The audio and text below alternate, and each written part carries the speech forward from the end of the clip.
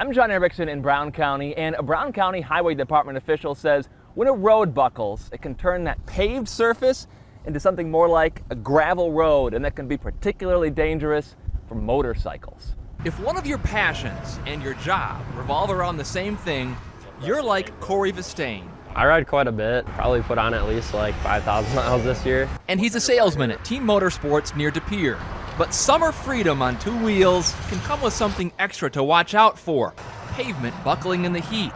Michael Pascenti is operations manager at the Brown County Highway Department. A lot of your pavement buckles end up just, they're blowing out and it's like gravel out there, a lot of loose concrete. So for cars and trucks, it'll be like hitting a bump. For motorcycles, it could be like driving on loose gravel. There, if there's gravel on the ground anywhere, um, you're going to lose traction. There was a pavement buckle Monday afternoon on I 41 South in the De Pere area. And the state DOT says high heat caused a joint to expand and fail, which led to the planned closure of the bridge on I 41 South over Lake Butte des Morts early Tuesday.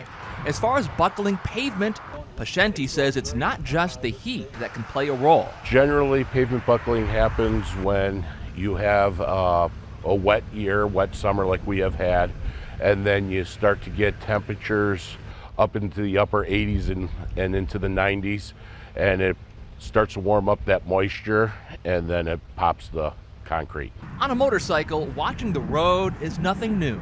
90% of riding is just paying attention to what you're doing, you know. And Vistain says watching out for buckled pavement is part of that. It's something you got to consider because the road that you're traveling on, the conditions are, that's very important. When the Brown County Highway Department gets a call about a buckled road, they will go out and make a temporary fix for the road before returning and putting in that long-term repair. In Brown County, John Erickson, NBC 26.